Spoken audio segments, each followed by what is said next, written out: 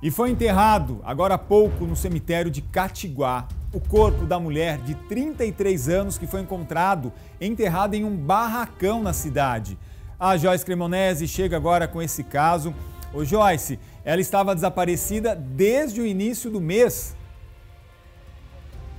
Isso mesmo, o Rodolfo. Ela estava desaparecida, na verdade, desde o dia 9 de junho, que foi quando ela saiu de casa, levando somente o celular, estava ali vestindo um vestido vermelho e é, teria pegado um carro emprestado. Então, desde este dia, então, os familiares não têm mais informações a respeito da Suelen Cristina Viveiros, de 33 anos de idade.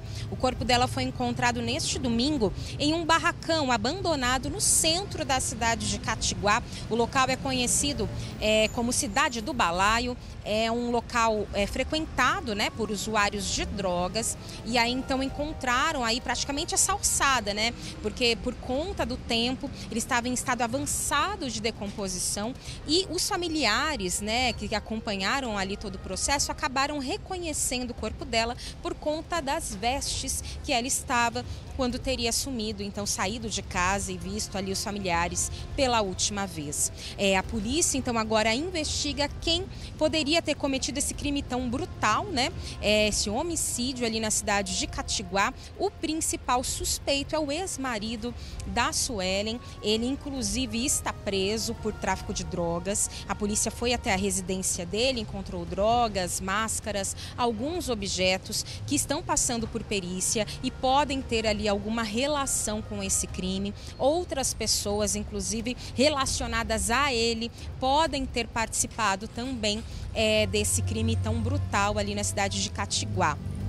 Polícia, né, ela sumiu no dia 9, no dia 10, a polícia encontrou o carro em que ela estava parado em frente a um bar abandonado, né? E ali começaram então essas investigações com relação ao desaparecimento dela. Agora então a polícia segue aí com as investigações, né, para tentar descobrir a motivação, como que esse crime aí pode ter acontecido. Fato é que é um crime que chocou a cidade de Catiguá, viu, Rodolfo? como você disse, o corpo então da Suelen, né, foi enterrado no cemitério municipal de Catiguá hoje às 10 horas da manhã.